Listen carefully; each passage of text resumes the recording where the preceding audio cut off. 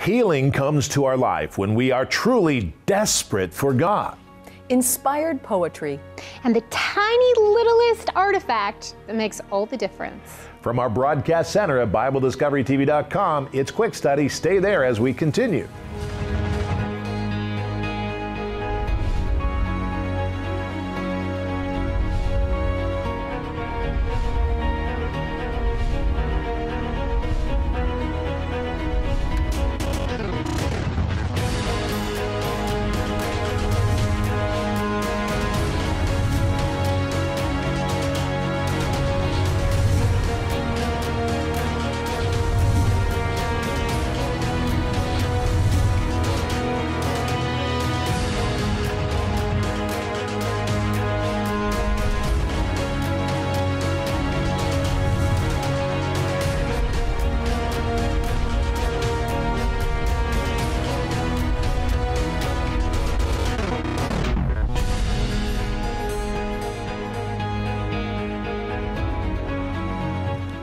Good morning, good afternoon, good evening, wherever you are. My name is Rod Hembree. I'm Janice. From our broadcast center at BibleDiscoveryTV.com, this is Quick Study Bible Discovery TV, taking you through the Bible in one year. Welcome to all our radio viewers as well. Now, listen, today we're going to be studying and reading. Here's our reading assignment Psalm 43, 44, and 45, Psalm 49, Psalm 84 to 85, and Psalm 87. Now, believe me, they're short Psalms, so don't get worried. But today we're going to focus specifically on Psalm 84, 1 to 12. We learn that healing comes when we are desperate for God as we go through the Bible chronologically. Now, Corey is here with Bible Discovery archaeology. Corey, what's up? When people tried to discredit the account of King David recorded in the Bible, a very tiny artifact turned the tide. Uh oh, those, there, there goes again, those tiny little artifacts. All right, so what's up for Do You Know? Well, do you know what the psalmist would rather be in the house of God than dwell in the tents of wickedness. All right, very good. Uh, excellent. And we'll talk about that and more. Here is Corey with Bible archaeology and those, those uh, pesky little discoveries. Here we go.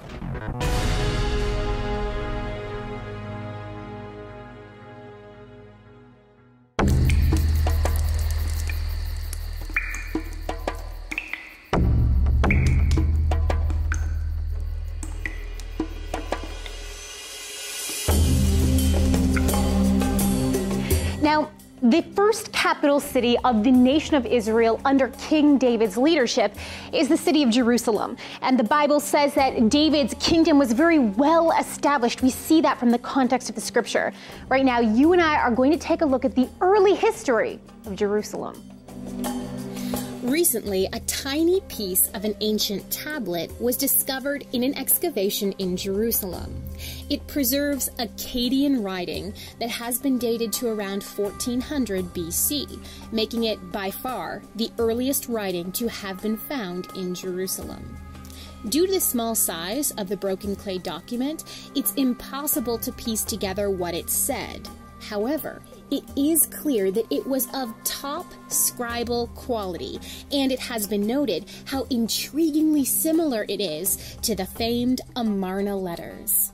The Amarna letters refer to clay tablets that were a part of Pharaoh Akhenaten's records, dated to around 1400 BC. They were written by kings of surrounding cities and nations. A prominent figure in the Amarna letters is Abdi Habah, king of pagan Jerusalem, who is credited with writing six or seven of the discovered letters, and is mentioned by name in at least one other. The letters from this king of Jerusalem have been specially noted by researchers to be of a particularly high scribal quality, and they also portray a picture of a thriving, industrious, well established Jerusalem smack dab in the middle of the time period of the Judges. Biblically, this works. We're told that the people couldn't oust the Jebusites from Jerusalem, and King David gained special renown in the Bible for his conquering of this city, which he then chooses as his capital. The problem has arisen, however, that there has been almost nothing found archaeologically of this Amarna period city. Without the Amarna letters from Egypt, the Bible would stand alone in its description of Jerusalem before David. That is, until now.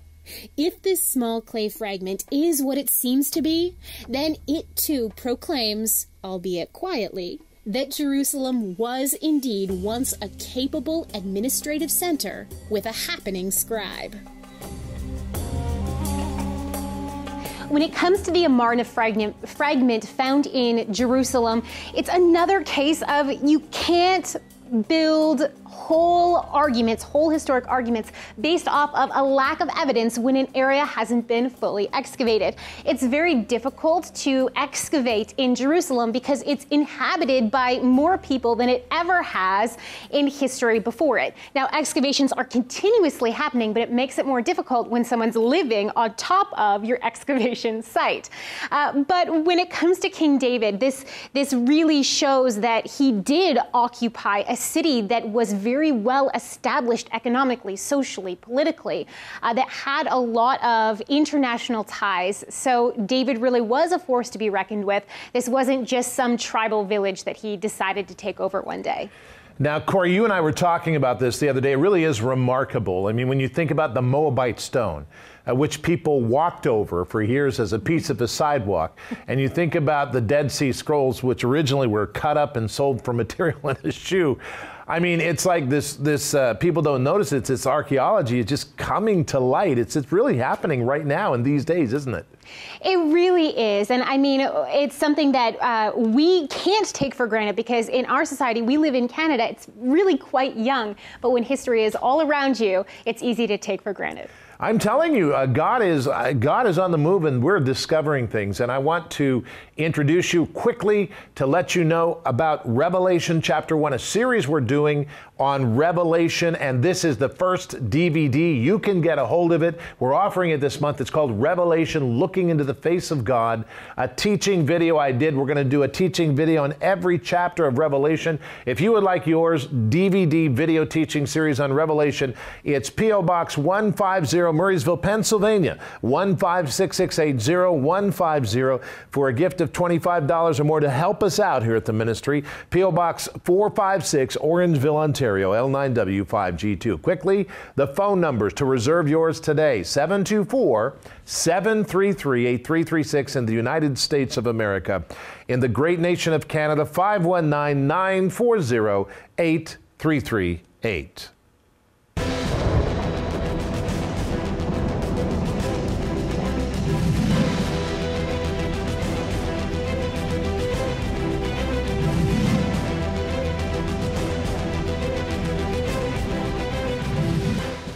Superheroes of the faith know that the presence of God changes everything. When the good King David was building ancient Israel, he knew the power of God's presence. And while repairing the horrible breach that King Saul had ripped into the fabric of God's people, David wrote many psalms about the healing presence of God. Psalm 84 is one of them. Composed probably about 1020 BC, this healing music reshaped the ancient nation. God's anointing for David was far beyond kingship. It extended to national healing and restoration of God's purpose for ancient Israel.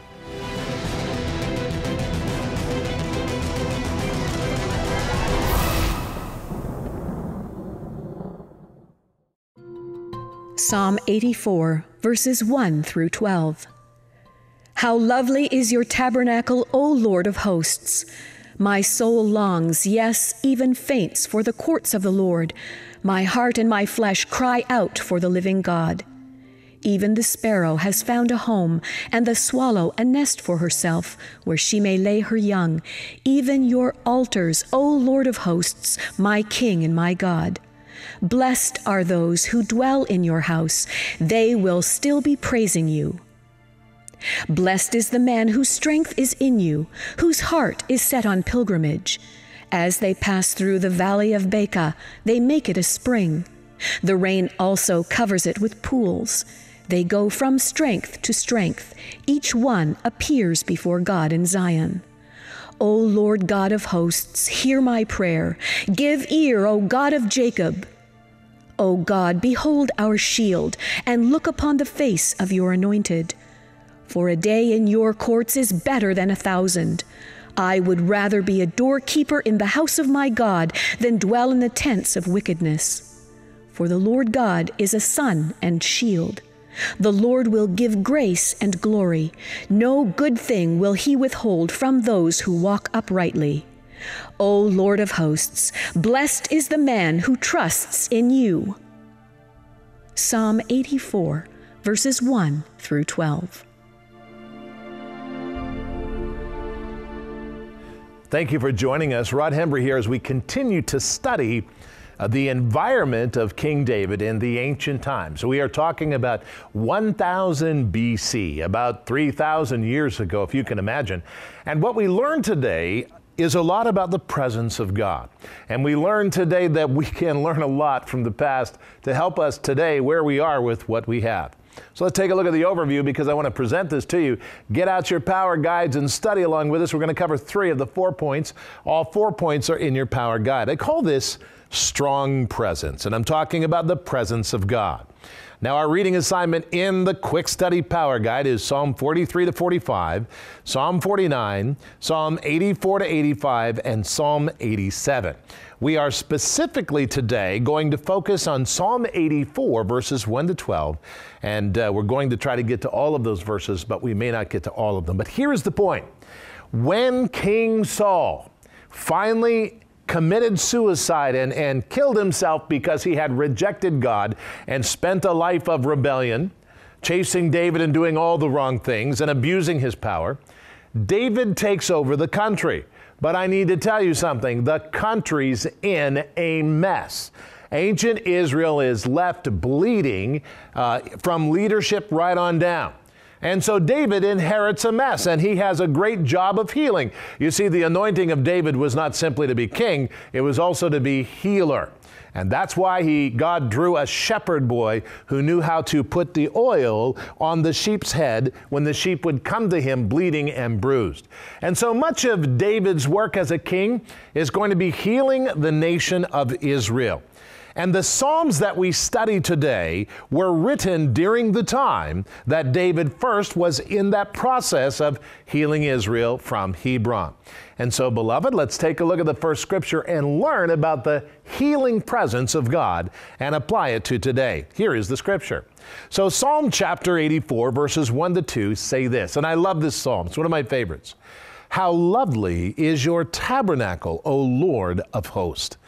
My soul longs, yes, even faints for the courts of the Lord. My heart and my flesh literally cry out for the living God. What an amazing thing. Now, I want to go straight to the point. Here's the point healing comes when we are so desperate for God that even our flesh longs for Him. Now, I want you to think about this because David, in inheriting this broken kingdom, realizes that there is going to need to be a great deal of healing. I mean, the kingdom is a mess, the country is a mess. Now, beloved, may I say to you today that whenever we see a nation, a family, whenever we see a city or a state or a province in a mess, the way I like to look at it is the, the pride is gone and the humility is there and the desperation for God is there and there is great opportunity for healing. And so when we see that healing comes when we're desperate, are we in desperate times right now? Well, this is an opportunity for us to do something about it and to change the state that we're in. David knew when he went in as king, the nation of Israel was in a desperately broken position. And so he begins to write these Psalms. Let's go on to the next passage. Even the sparrow, David says, has found a home. That is the most amazing symbol of humility. There is nothing any smaller uh, in terms of importance in the bird and animal kingdom than a sparrow. Even the sparrow has found a home, and the swallow a nest for herself where she may lay her eggs or young, and even your altars, O Lord of hosts, my King and my God. Blessed are those who dwell in your house, for they will still be praising you Selah. Now, that Selah means a time of rest and meditation on what has just been said. This is amazing to me because when you see that there is no person that God will refuse if they are in a humble state. That is the position. And David even uses nature here to explain that humility is the best position to be in before God. Very, very interesting. Blessed are the poor in spirit, Jesus would say, for theirs is the kingdom of God. This is an amazing truth preached to us from Psalm 84. Holiness to us and holiness to God is very different. God makes us holy by His altar. We are often, or we often try to be holy by our works.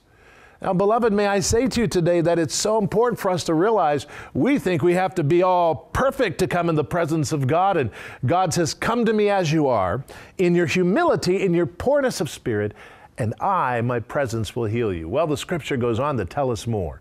The Psalm verses 5 and 7 of 84 says, Blessed is the man whose strength is in you, O Lord, whose heart is set on a pilgrimage. That pilgrimage would be to go to the house of God. As they pass through the valley of Baca, they make it a spring. The valley of Deserton, they make it a spring. The rain also covers it with pools, and they go from what? Strength to strength. Each one appears before God in Zion in Israel. A prophetic scripture, but I'm going to focus on the application. And here is the application The presence of God in us builds the kingdom of God around us as we go from one season of life to another, or it could be said from one situation to another. Beloved, we need to remember that we need not be all successful and proud and wear billion dollar suits and drive fine cars to impress people with the power of God. I can tell you how we impress people with the power of God when we realize that we are not a distinguisher of persons and we treat the person that has nothing the same as we treat the person who has a lot. When we become people who are willing to see every soul as equal, when we become people who are willing not to build up our pride to try to present God as ambassador, but we come in humility, understanding we are sinners, saved by grace through faith in Jesus Christ. This is the disposition of an ambassador of Christ, and we learn it from the Psalms.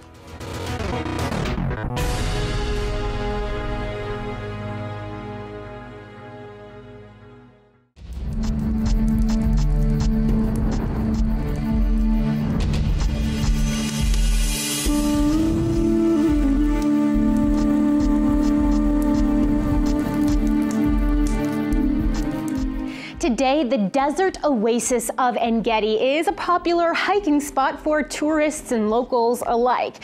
But its ancient history is very diverse. It was not just a hiking place that was beautiful, it was also very productive and practical. The name Engedi means spring of the goat and is the name of Israel's largest oasis. Located on the western shore of the Dead Sea, this oasis has four perennial springs and so has always been prime territory for cultivation and the home of much wildlife. Located along cliff faces, Engedi is also home to thousands of visible and hidden caves, many of which are still being explored and likely house ancient treasures. The first mention of Engedi in the Bible is found in the book of Joshua, where Engedi is listed as in the territory of Judah. Excavations at Engedi, however, have revealed an older than Judah temple on a cliff overlooking the Dead Sea. Its use is a mystery because of the lack of any written history. The temple was not destroyed, but rather abandoned, possibly due to invasion or threat bronze ceremonial artifacts dating to the biblical time period just after the flood of Noah, the time the temple was in use, were found in a cave a few miles away, articulating the very early advancement in metallurgy. Engedi was also the famous hideout of King David as he was being hunted by Saul. A place of lush vegetation, plenty of water, and a notoriously confusing system of thousands of caves to hide in, Engedi was the perfect natural fortress. Perhaps one day, an unexplored cave high up in a cliff face will yield remnants of David's campgrounds. During the days of Solomon, the Bible refers to the vineyards at Engedi, and many other historic documentation speak of fruit, perfume, and leather production. In the days of the split kingdom, the kings of Judah built up the city of Engedi as a royal economic center, testified to by royal seal impressions. Between the 1st century BC and the 1st century AD, the city of En Gedi was caught up in the Great Jewish Revolt of 66 AD and the Second Jewish Revolt, leaving the city worse for the wear. Although it did enjoy a resurgence between the 2nd to 6th centuries AD, leaving behind now famous Jewish synagogues.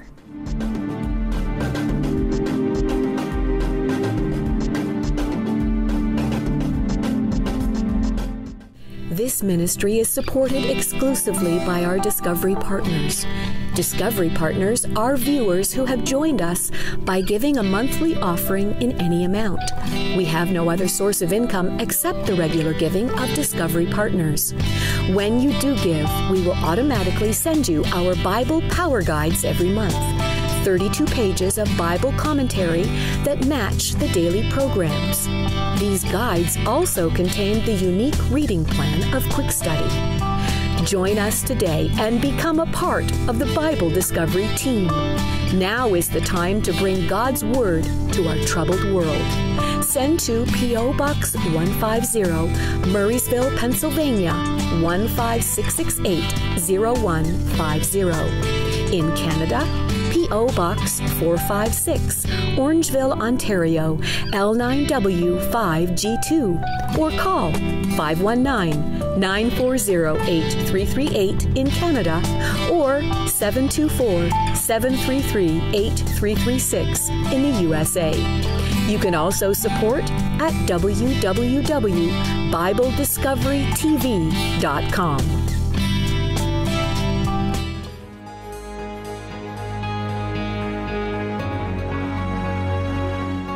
Thank you for staying with us, and it's good to have you as we continue to go through. You know, we're going through the Bible chronologically. Yes, we are. So that means that sometimes we're in First Chronicles, Mm-hmm. sometimes we're in First and Second Samuel, sometimes we're in the Book of Psalms. I love how the Psalms are being inserted into uh, the accounts of what's happening. It's true. In fact, in, in a future day, a few days here, we're going to have an account of David uh, wanting to build the temple in Samuel, and then that same account in Chronicles.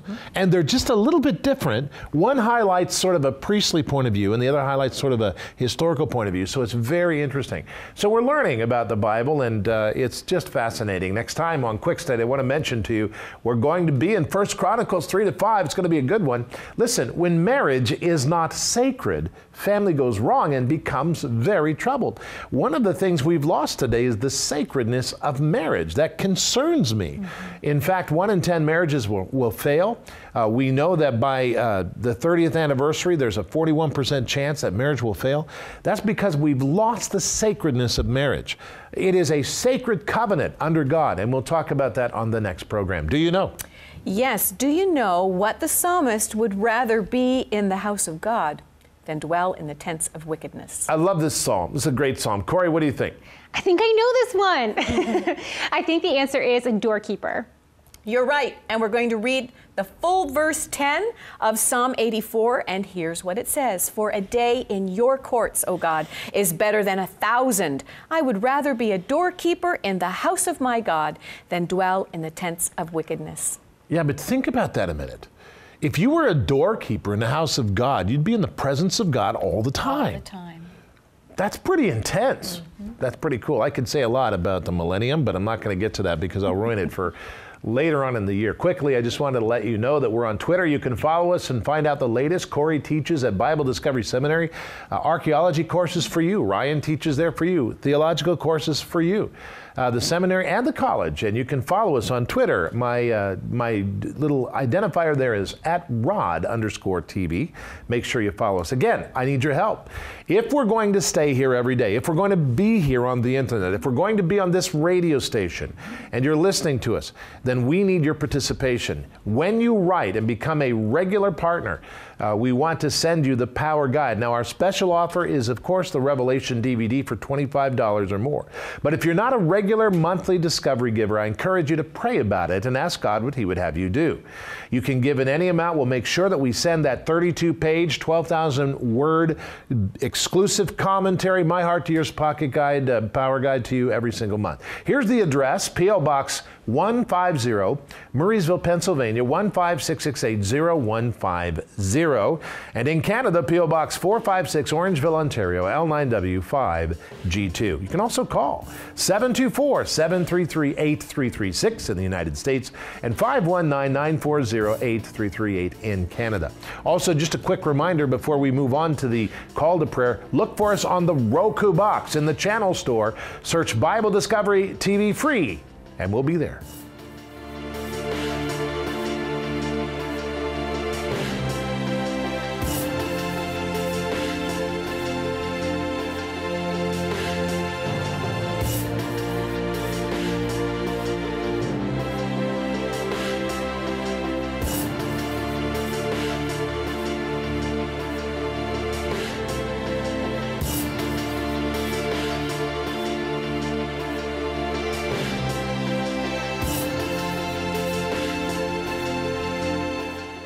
Key to changing the world around us is to take time in God's presence, which changes the heart in us. Prayer and meditation upon the Scriptures is never, ever a waste of time if we learn to listen to God. The present world creates a culture with a lot of moving parts and many distractions. Time is often wasted on meaningless activities that frequently cause us to lose even more and more time. But there is great strength for life when we learn that God is important. In fact, God is all important, even more than Facebook and Twitter. With that, we pray, Lord, teach me to spend real and right time with the things in my life and the Word of God. Help me to build in my life devotion to you.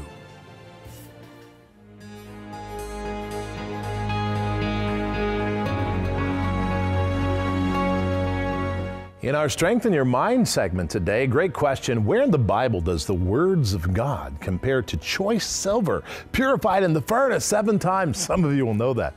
It actually says the Word of God is pure and perfect. Uh, tried in the furnace seven times like silver. Very interesting. Want to say hello to everyone watching on Watchman Broadcasting in Augusta, Georgia, and all across the world on the Roku box on that channel. And Dorothy Spaulding and the good people there, Russell. We want to say hello to everybody watching there and encourage you to come to Jesus. You see, the Bible says, Behold, I stand at the door and knock, God says, and anyone who lets me in, I will come in and have fellowship with him. So, all you great people in the state of Georgia, we love you and we want to encourage you to come to Jesus. We want you who are watching Watchman Broadcasting to confess with your mouth Jesus is Lord. Say, Lord, I believe you died on the cross and rose again, and today I take you as my Lord. Come to Jesus and get in contact with Watchman. On behalf of them and all of us here at Quick Study, come to Jesus today. He's waiting for you.